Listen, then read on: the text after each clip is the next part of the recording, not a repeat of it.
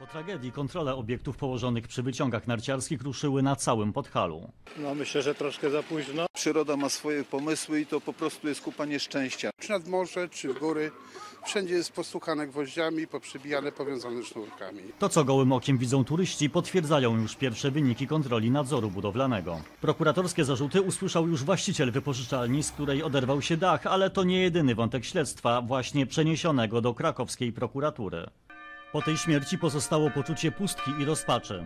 Matkę i dwie córki, które nie wróciły z wyjazdu na ferie, bliscy pożegnali dzisiaj w Warszawie.